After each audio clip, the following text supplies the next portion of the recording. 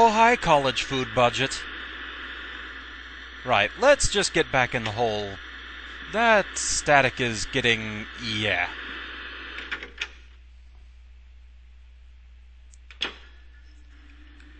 I think thankfully it shuts up after a while.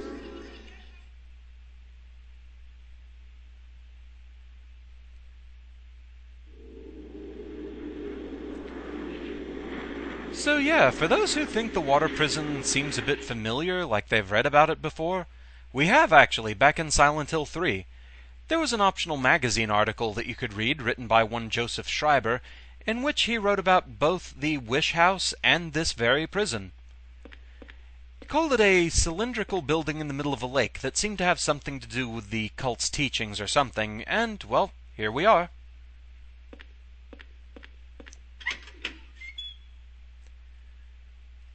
It gets to the point where the previous Silent Hill references, very obtuse ones at that, they start to feel like they're encroaching a bit.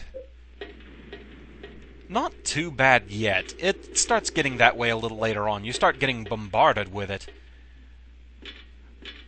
But for coming up with some of these settings, I can't fault it. This is actually a fairly interesting world, I'll admit that much. Tedious, but interesting.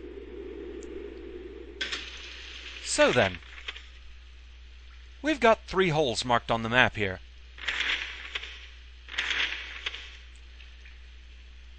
Now, where they're marked, there's no sense letting it drop us into a room we've already been in. So if we follow where the three holes are, the two uppermost holes lead to rooms that we could get into on the first floor. That lower one does not. So that's where we want to go. Right in here. Huh, Silent Hill 2, anyone? Shades of James? It's a hole. Jump in.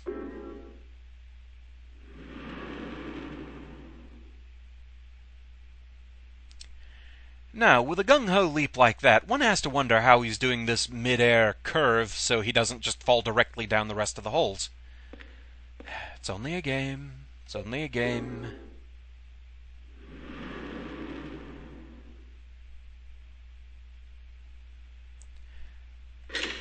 Yeah, the lock is just completely broken, so there's nothing you can do, aside from continuing the trip down, into uncharted territory.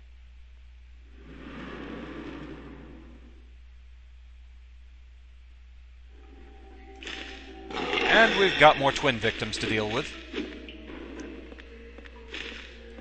Try and fight them a little more successfully here. Just go with the rapid attacks rather than bothering with the power. Oh, hi there. Look, wait your turn.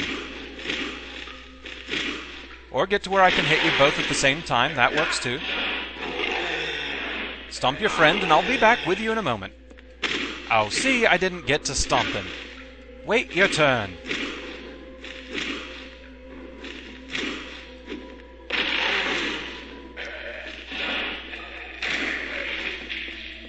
This does seem to be going better than trying for all the power attacks. The power attacks are satisfying, but a bit more dangerous. Leaves you open a bit long. You do have invincibility frames during power attacks, so that much is nice. We've unlocked a door. And where exactly are we? We're in the basement. We just came out of the shower room. We need to go up here. Oh, we've got a note on the desk here. There's a document here. It's not sloppily written. This place continues to deteriorate. The doors to a number of cells no longer open. As a result, the kids inside can no longer go outside. But the less they know about that, the better. I can't open the doors, but from this room I can watch them get more and more emaciated each day. With no food and never showering themselves, they turn into smelly little gray lumps in there. Following the suggestion of an engineer, we've disposed of the corpses by digging a hole below the cells. Since each floor of this building can be rotated independently, we can dispose of the bodies without the others noticing by aligning each cell with a body in it vertically. P.S. Chief, I bet you're just dying to see the interrogation room behind the kitchen. I understand your feelings, but have you noticed? There are three rooms with bloody beds. One is on the first floor, one is on the second floor, and one is on the third floor. If you line those three rooms up, then it's bingo. So, using these peepholes, we can find where the bloody bed on the first floor is. Nope. Nope.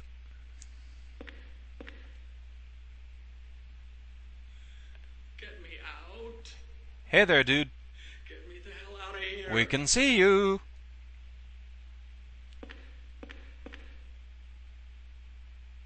Nope.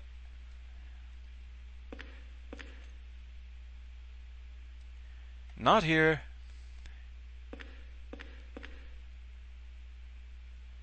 That's the noose room. Hi there.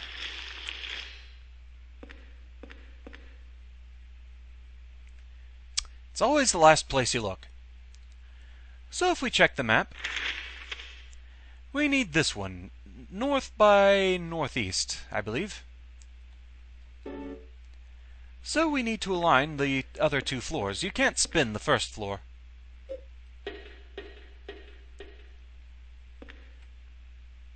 There's a document here.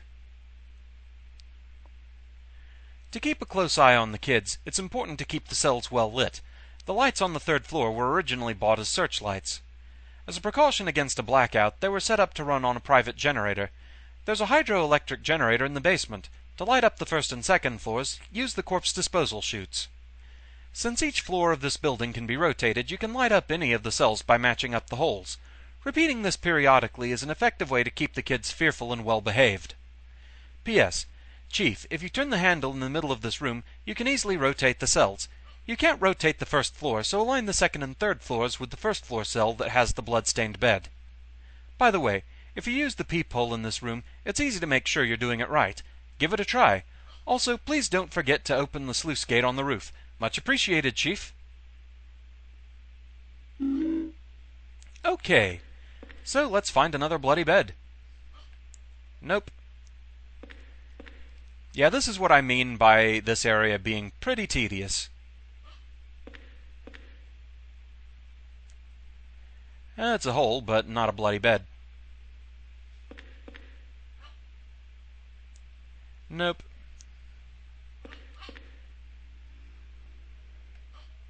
Nope. There's the wheel we can turn. And there's the bloody bed. Its position is exactly the opposite of where we need, so we can turn the wheel four times in either direction. Let's go with left.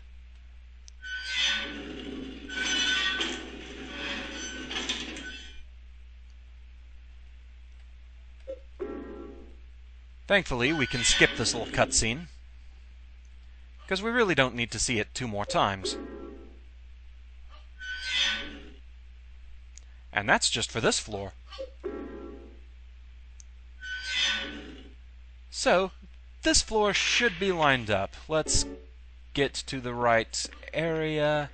Should be this one. Yes. Looking through the peephole. There's the bloody bed, so we have it aligned properly. Up to the third floor. And we have another note. It's some kind of memo. The secret number for getting through the door and back of the kitchen this month is 0302. Thank you for your cooperation. Now, before we actually properly align this particular floor, something else I need to do first.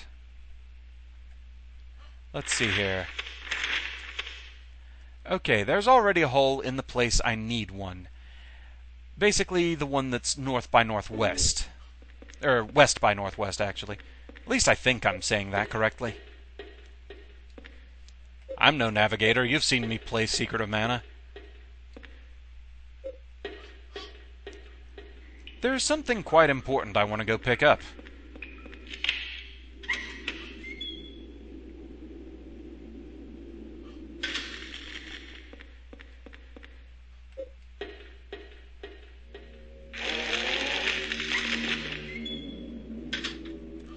And for that, I'll need to go up to the third floor again.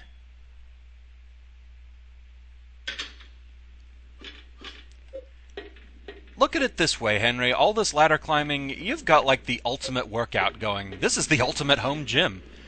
Right through a hole in your bathroom. How convenient.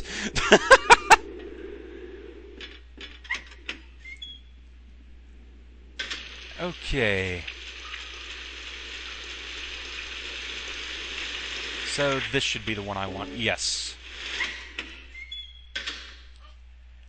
Okay.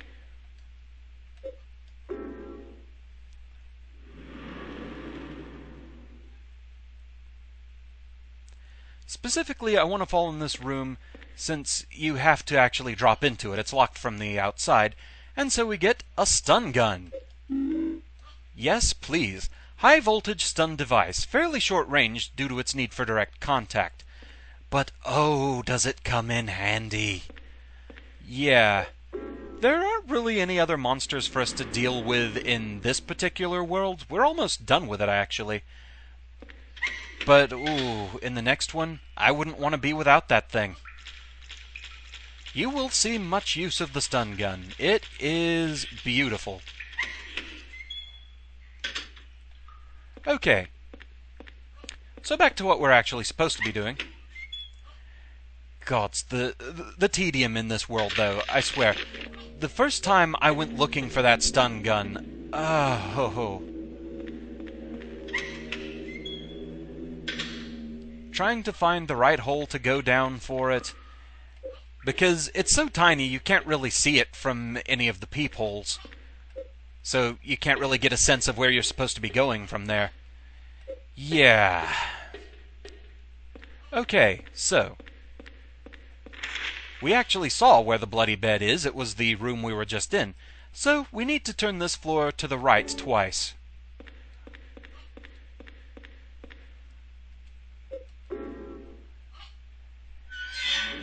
Now turn to the right. Now turn to the right.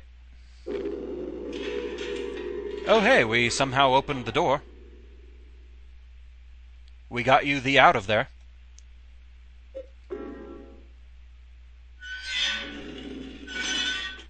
So with that, we should be completely lined up. No, I don't want to turn it again. Thank you, no. This the right one? Yes. Should be the bloody bed right here. And there it is. We're good to go.